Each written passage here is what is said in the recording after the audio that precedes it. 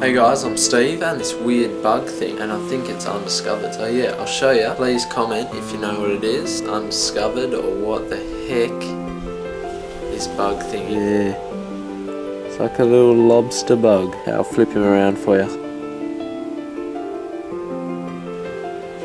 There's a little lobster bug on my phone. Attack of the lobster bugs. There he is. So he's quite small. He's not microscopic, but so yeah, he's camping at the moment. Let's go. Oh, he's moving.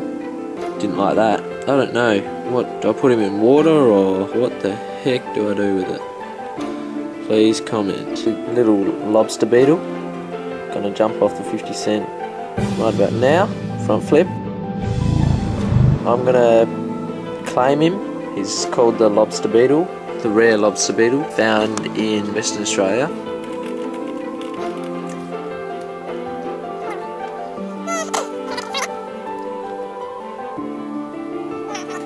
Alright guys, looks like I found a rare lobster beetle. Like, this, oh!